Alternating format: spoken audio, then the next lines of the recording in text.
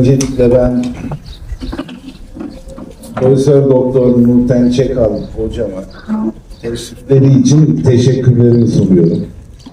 Ayrıyeten de böyle güzel, ilginç bir konu. Gazi Mustafa Kemal Atatürk'ün Sarı Paşa'mızın beslenme alışkanlığını konuşacağız. Evet, merak ettiğimiz çok şey var. Hocamızdan bunları dinleyeceğiz. Bu vesileyle Cumhuriyetimizin kurucusu Gazi Mustafa Kemal Atatürk'e, bütün yol arkadaşlarına selam olsun, rahmet olsun, özlemle, minnetle, rahmetle anıyoruz. Teşrifleriniz için de hepinize teşekkür ediyorum. Ayrıyeten Nurten Hocama da teşekkürlerimi iletiyorum ve mikrofonu kendisine emanet ediyorum. Buyurun. Konuşmama başlamadan önce en yüce Türk, Ulu Önder Başkomutan Gazi Mustafa Kemal Atatürk ve silah arkadaşlarını e, bu vatan için e, belki de hayatının baharında canını vermiş, ardında gözü yaşlı anneler, evlatlar e, ya da eşler bırakmış olan aziz şehitlerimizi, Yine bu vatan için kolunu, bacağını, gözlerini, belki de tüm sağlığını kaybetmiş olan kahraman gazilerimizi, ee, yine e, Türk bayrağının dalgalandığı her yerde çalışırım. Ee, asla haklı olduğum davada tek başına bile kalsam mücadeleni bırakma, dik duruşunu kaybetme diyen gerçek bir Atatürk ve Türk milliyetçisi, e, Türk askeri e, olan e, ve evladı olmakla her zaman gurur ve onur duyduğum, gençliğinden beri Türk Ocakları gönüllüsü olan rahmetli babam Basri Çekal'ı buradan saygı ve minnetle anıyorum. Yine burada selamlamadan geçemeyeceğim.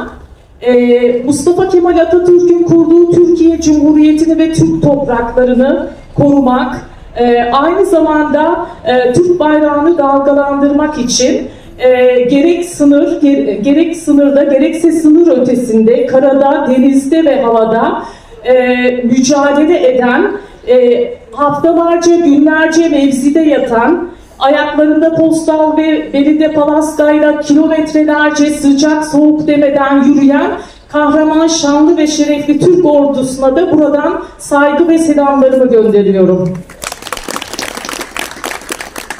Evet ben konu, e, oturarak e, devam etmek zorundayım. Çünkü aynı zamanda e, Türk Ocakları'nın siyaset üstü bir kurum olduğunu ve Türk dilini e, yaymak, e, Türk kültürünü yaymak gibi çok önemli misyon üstlendiğini ve Atatürk'ün de her gittiği ilde Türk ocaklarını ziyaret ettiğini ve Türk ocaklarına nedenle önem verdiğini biliyorum.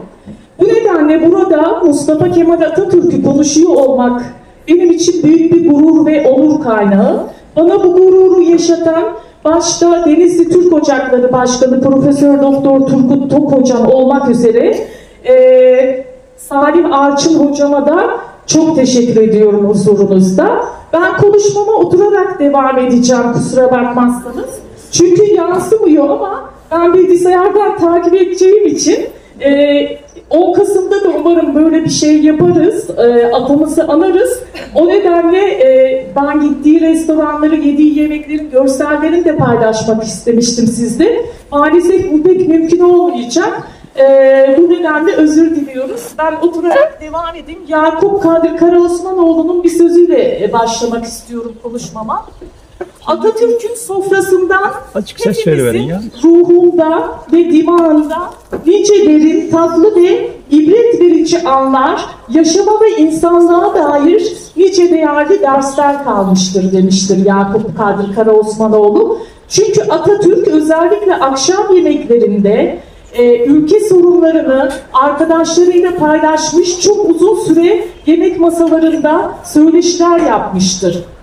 Aslında e, çok boğazına düşkün, çok yemek yemeyi seven bir insan değil. E, iş hayatından dolayı da yemeğe çok vakit ayıramıyor aslında. E, sabah kahvaltılarına bazen eğer aç karnı olursa sade Türk kahvesiyle başlıyor.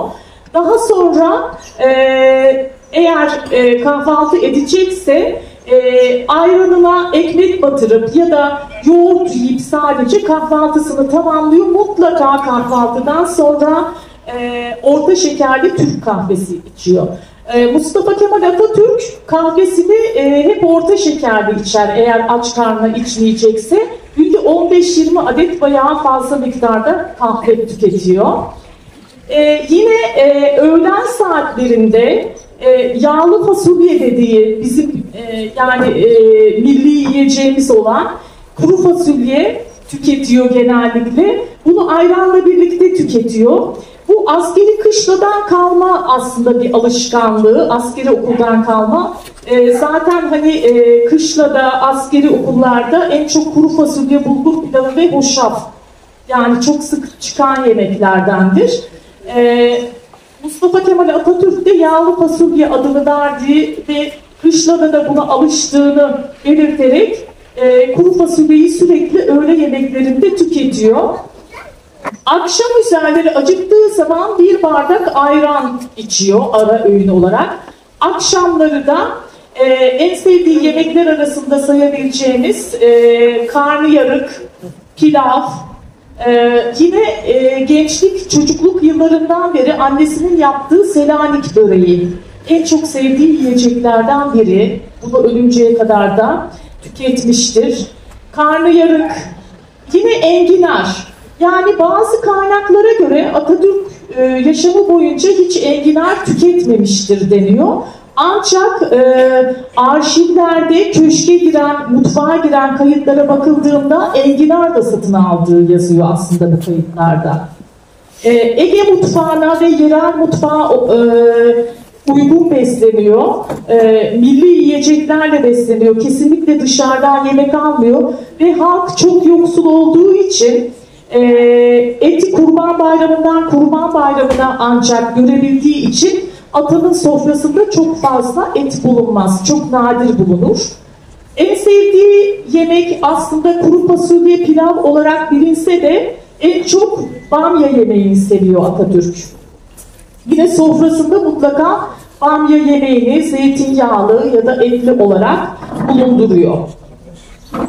Ee, sevdiği meyvelere bakacak olursak Atatürk'ün en sevdiği meyve kavun. Kavunu çok tüketiyor.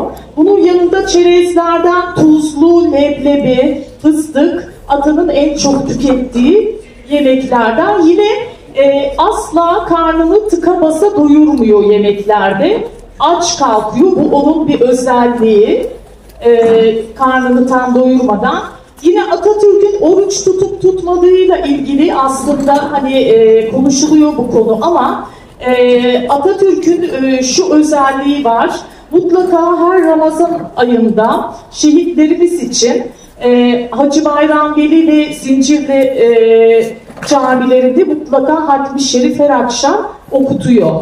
Ve aynı zamanda bir gün e, Atatürk e, akşam iftar saatinde ulemaları çağırıyor köşke, davet ediyor ve o iftarda yemek olarak e, önce iftariyelikler geliyor. İşte pide, bol susamlı simitler yer alıyor. Yine pastırma, e, reçeller, e, aynı zamanda peynir, zeytin, sucuk e, yer alıyor. Yiyorlar yemeklerini ve menüde de karnıyarık var, tarçınlı toyga çorbası, e, zerdali e, kompostosu, etli bamya e, ve irmik helvası yer alıyor. E, ulemalar bunları yedikten sonra e, Mustafa Kemal Atatürk soruyor. E, Atatürk e, şöyle bir soru yöneltiyor ulemalara. E, Hazreti Muhammed iftarda ne tüketirdi diye soruyor. Ulemalar düşünüyorlar, sağlarına sollarına hani bakıyorlar, bunu cevaplayamıyorlar bir türlü. Mustafa Kemal Atatürk diyor ki, Hazreti Muhammed çünkü Kur'an-ı Kerim'i birçok kez Mustafa Kemal Atatürk Türkçesini okumuş. Yani e, büyük bir dahi olduğu için e, gerçekten aynı zamanda çok okuyan ve çabuk anlayan biri. E, ve diyor ki e, Hazreti Muhammed bir pide, e, beş zeytin ve üç tane hurmayla açardı orucunu ve iftarda tükettiği yemek buydu diyor. E, böylece ulemalara hem ders vermiş oluyor hem de e, tasarrufun ne kadar önemli olduğundan da burada söz etmiş oluyor. Yine Atatürk tatlıyla çok arası olan biri değil. E, tatlı olarak gül reçeli ve irmik helvası en sevdiği tatlılardan. Bunları da nadiren tüketiyor. E, Şimdi e, aslında Atatürk'ün gittiği restoranlardan, seyahat ettiği yerlerde yediği yiyeceklerden söz etmek istiyordum görselde. Fakat e, bunları sizle paylaşamayacağım. Çok da sıkıcı olacak böyle. E, ha, anlatayım mı? Tamam. E, Mustafa Kemal Atatürk'ün e, gezilerinde de mutlaka yemekler yer alıyor. Mesela gittiği yerlerde mutlaka tadım yapıyor. Ee, ve e, mesela su böreği gittiği yerlerden birinde, diğerinde işte e, bal pekmez karışımı olan bir tatlıyı çok seviyor. Yani seyahat ettiği yerlerde de mutlaka tadım yapıp hazırlayanlara da teşekkür ediyor. Ee, yine gittiği restoranlar var. Özellikle akşam yemeklerinde ülke sorunlarını konuştuğu, işte İkbal restoran var. Urla'da gittiği restoran var.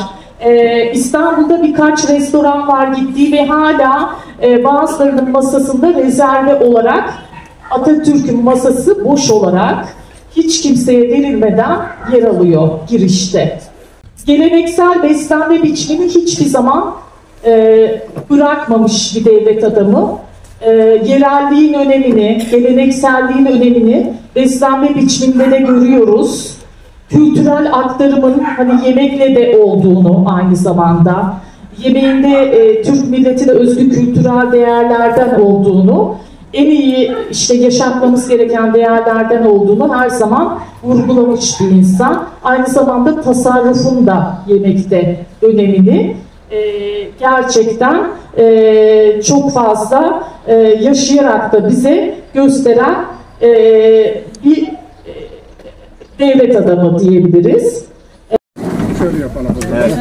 Kurt bize baksın. Hocam siz de.